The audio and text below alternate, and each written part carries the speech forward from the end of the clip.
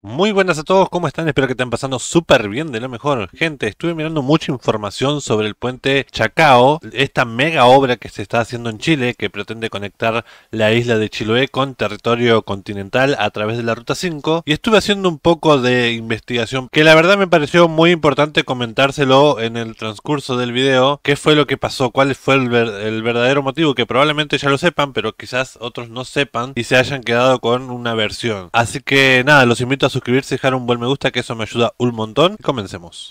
Desde el año 2018, más de mil trabajadores hacen sus mayores esfuerzos para sacar adelante el puente del canal de Chacao, una mega obra que pretende conectar Chile de Arica a Chiloé a través de la Ruta 5.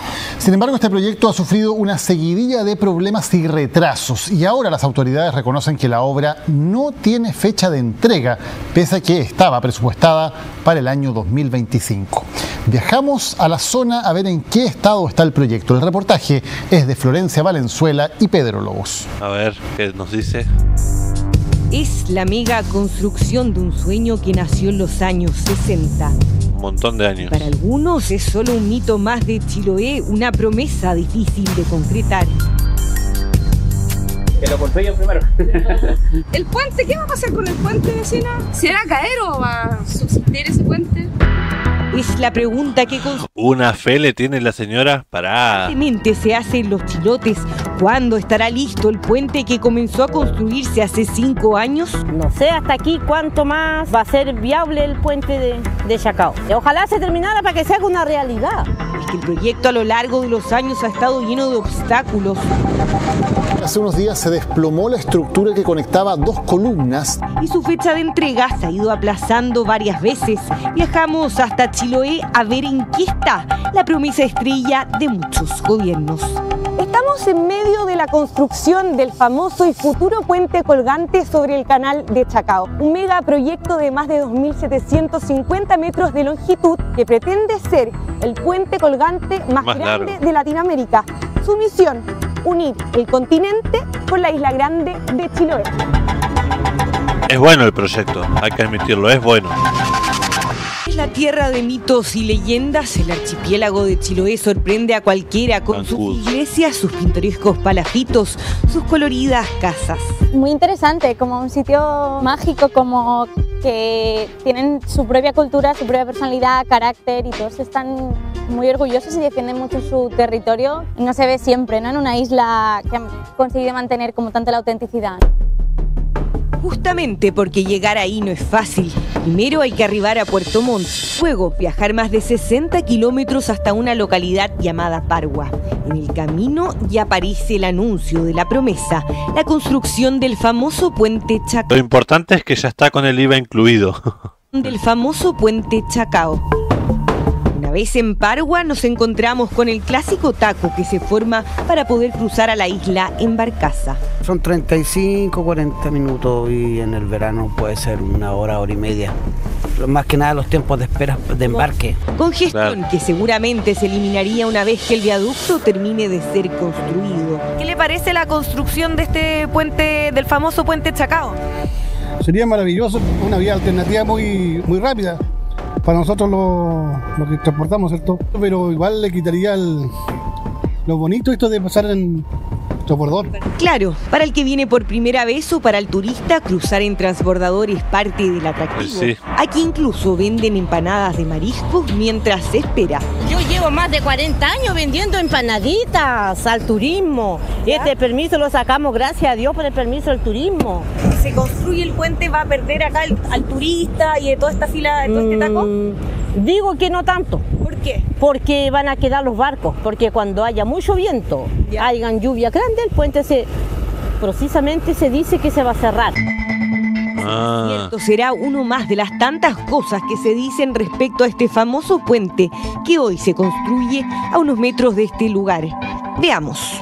En este momento estamos en el sector norte, el sector del continente. Estamos prontos a ingresar a lo que es eh, una de las pilas del puente. Es un puente colgante que tiene tres pilas. La pila norte, la central que está en el medio del canal y la pila sur que está en el sector de Chiloé.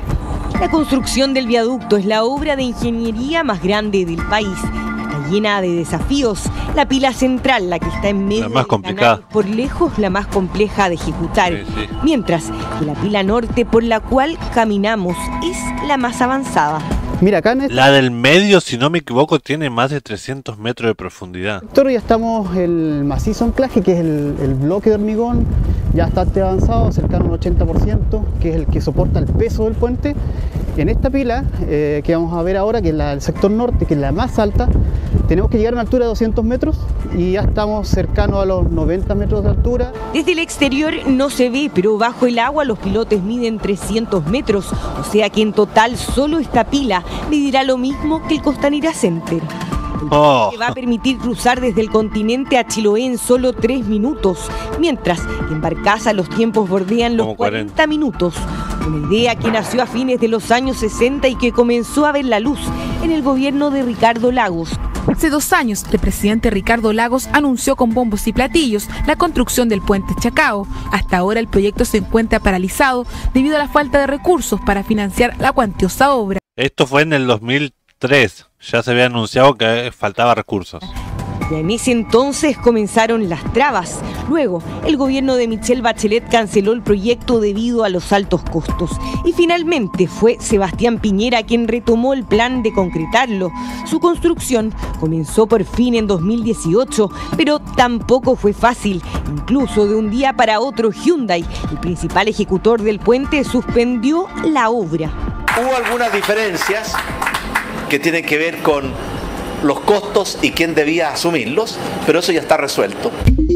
Bueno, acá es donde yo le quiero agregar esta información, que obviamente la saqué de CNN Chile. Se Hyundai acusa al Ministerio de Obras Públicas de no cumplir con su palabra y dicen que el gobierno no le ha pagado nada en cinco años. Desde la cartera afirmaron que se están haciendo las gestiones cuidando los recursos fiscales. No obstante, los surcoreanos contestaron asegurando que los compromisos que asume un Estado no deben cambiar dependiendo de quién sea el gobernante de turno. Bueno, hice un resumen aparte para explicarle lo que dice toda la nota. Eh, quiero aclarar que la nota esta que estamos viendo de CNN en todos los periódicos salió igual, en todos los diarios dice lo mismo. La nota esta dice, la empresa surcoreana acusó al gobierno de no cumplir con sus compromisos financieros durante cinco años. En relación a la construcción del puente Chacao, Hyundai sostiene que a pesar de haber asumido los riesgos de posibles costos adicionales, el Ministerio de Obras Públicas cambió las condiciones en el año 2016 y no ha cumplido con el compromiso de compensar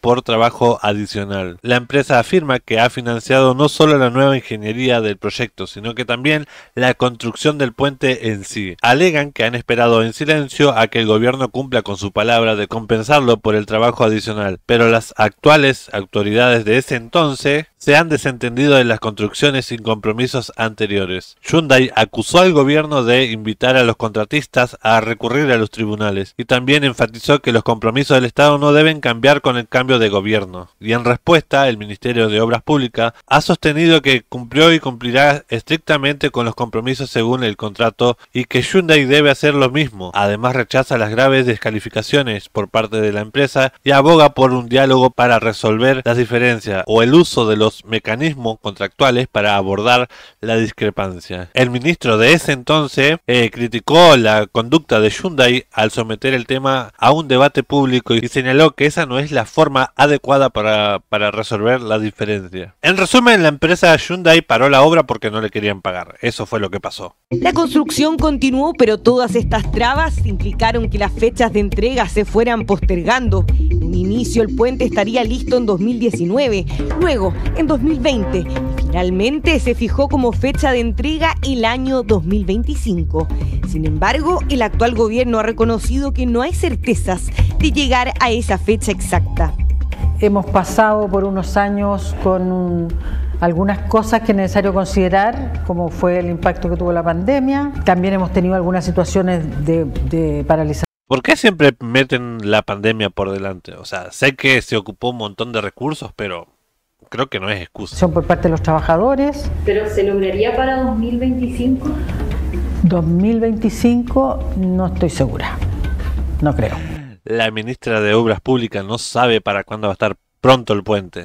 ¿Un año estimado? Porque no tengo año estimado. Al parecer no hay apuro. Sin embargo, acá a diario más de mil personas hacen los mayores esfuerzos. Tal cual, al parecer no hay apuro. Trabajan contra viento y marea para lograr concretar el megapuente. Lo constatamos en terreno. ¿Cómo es trabajar también con estas condiciones climáticas? Porque hay viento, se puso a llover, de repente para. Bueno, efectivamente es una condición, mira, estamos en, eh, ya casi en verano y es una condición que eh, se da durante todo el año. Eh, y podemos escuchar, nosotros podemos escuchar que hay una alarma que en este momento se está activando, que en el fondo es para prevenir situaciones de riesgo de los trabajadores la grúa se detuvo, en este momento están paralizados los trabajos y son situaciones extremas que vivimos eh, intensamente en ciertos periodos del día, en, durante todo el año, durante el verano, y son las que efectivamente van también evidentemente afectando. A mediados de año los trabajadores paralizaron las obras debido a las peligrosas condiciones a las que se veían expuestos. Se desprendió la estructura y una el día 26 de mayo, un grupo de 75 trabajadores que hoy atrapados por inclemencia del tiempo. Tras eso se reforzaron las medidas de seguridad y hace poco se anunció una buena noticia. Las obras ya registran más de un 44% de avance. Esta embarcación que viene bueno, lo importante es que vaya avanzando. Lento, pero que vaya avanzando. Es la que traslada a los trabajadores y tiene una capacidad de 100 personas. Valenzuela Prat. Los dos apellidos me suenan. En estos momentos se está atracando por las Bueno, de Arturo Prat y Valenzuela. Valenzuela me suena. Climáticas. Y luego se va a ir a la pila central a buscar a los funcionarios para luego hacer el cambio de turno. La logística es compleja sin duda, pero sacar adelante esta monumental estructura también es un orgullo para la mayoría de los funcionarios. Y conviven personas de todas partes del mundo. Hay ingenieros de Europa, hay de, Centroamérica, Norteamérica. Es eh, evidentemente una dificultad más, es un desafío más, porque también aquí vemos que hay personal que está haciendo de supervisión, que son coreanos, eh, hay temas que relacionados con la cultura, hay temas relacionados con el idioma, con las instrucciones que se tienen que dar a los trabajadores y por lo tanto también nosotros estamos permanentemente con el equipo de ingeniería chileno que está haciendo la traducción eh, y la interpretación de lo que también quieren manifestar los trabajadores. Y aunque a primera... Bueno, por lo menos hay, hay trabajadores chilenos, ¿no? Lo importante. Era algo emocionante, los trabajadores chilenos también se han quejado por el trato que tienen los coreanos con ellos. Aquí estamos otra vez. ¿Y qué fue? ¿Y qué fue? Aquí estamos otra vez. Hace algunos días uno de los sindicatos de trabajadores viajó hasta Santiago a protestar frente al Ministerio de Obras Públicas por esta situación. Lo que pasa es que supongo que los coreanos le deben de pagar un poco más porque deben ser contratados directo de, de Hyundai y los chilenos deben ser contratados por parte del ministerio. Una señal de advertencia. Se está agotando la paciencia a nivel de todo el proyecto. Ellos tienen condiciones de primer nivel en sus campamentos y nosotros estamos hoy día en las condiciones de hacinamiento. Tenemos situaciones de maltrato por parte de los coreanos a, a los trabajadores chilenos y el mandante, que es el MOB quien está pagando, no hace nada, absolutamente nada. Trabajan con otra norma y el MOB le dijo que tenía que trabajar con las mismas normas nosotros, pero no lo hacen. Gritan, eh, empujan. son, son violentos los coreanos oportunidad. Los trabajadores no fueron recibidos por el ministerio, la jefa de la cartera asegura que a mediados de año viajó al canal de Chacao a inspeccionar las obras y a escuchar las inquietudes de los funcionarios. Tenemos gente dedicada eh, especialmente a eh, estar observando y preocupada y resolviendo cosas en este ámbito, eh, así es que yo diría que han sido escuchados a lo mejor eh, tenemos que escucharlo más, es posible, yo no descarto nada. tenemos que escucharlo más. Amiga, ponete las pilas. Ah, pero han habido temas que tienen que ver con el lugar donde esto... Quiero aclarar que no estoy ni del lado del gobierno actual ni del otro. yo estoy en el medio y simplemente estoy reaccionando al video para que no me comenten que cualquier barbaridad. Entonces les aclaro que yo estoy reaccionando y estoy opinando lo que está diciendo la señora y en este caso como que no está colaborando mucho la señora, como que no tiene muchas ganas de estar ahí. Ahora, en realidad de harta complejidad Entonces eso naturalmente tiene, tiene un impacto en los trabajadores que nosotros entendemos, digamos, y, la obligación aquí es cómo la sociedad concesionaria eh, genera todas las condiciones, y digo, todas las condiciones de seguridad para cuidar a los trabajadores y que la obra se lleve a efecto. Sí, sí, bueno, las condiciones de seguridad están dadas, pero el, problema que te están planteando los trabajadores es por el trato que les están recibiendo por parte de los coreanos. Ese es el problema. Viajaremos a la isla para ver qué piensan los chilotes en su única alternativa, la famosa barcaza, una tradición que es parte de la experiencia y de la magia para llegar al archipiélago. Qué lindo, Marcelo lleva más de 20 años manejando este medio de transporte. Trasladamos a distintos tipos de gente, sobre todo en el verano hay alta concurrencia de gente para Chiloé. Viene mucha gente del norte, de otros países también. Ya. Sí, en la cual la gente se va muy agradecida. El cruce no es barato. el viaje de ida en la barcaza para un auto particular cuesta 14 mil pesos. Uh. ¿Cuánto costará el peaje del puente que será de doble Como 15 o 16 mil pesos. Ya aún no se sabe. Oiga, ¿y qué le parece el puente Chacao que están construyendo? ¿Para ustedes es una competencia? ¿Cómo lo ven? que lo construyan primero. no todavía falta para eso. Ya. Sí, así que por lo tanto estamos tranquilos en ese sentido en todo caso. Y además que igual va a seguir funcionando esto. ¿no? Dice que sí, dice que si no, yo creo que igual va a ser la, esa va a ser, yo creo que va a ser la alternativa. Sí, a ver, dos. Seguimos hasta Ancud. En el camino nos deleitamos con los paisajes y apenas llegamos a la plaza y mencionamos el puente Chacao, comienza el debate. ¿El puente? ¿Qué va a pasar con el puente, vecina? ¿Puente Chacao? No sé, no tengo idea. ¿Será caer o va a subsistir ese puente? Debajo de esa roca remolino lo dudo la roca que está debajo. ¿Sabe qué es mejor padre? Que ese puente nunca es efectivo. ¿Por qué, mamita? Porque va, se lo van a poder hacer, pero no, no, hace, no va a funcionar porque la misma roca va a botar. Sí, pues se llama roca remolino. Dicha roca es una especie de macizo que hay oh. bajo el agua y que con las corrientes provoca una serie de remolinos.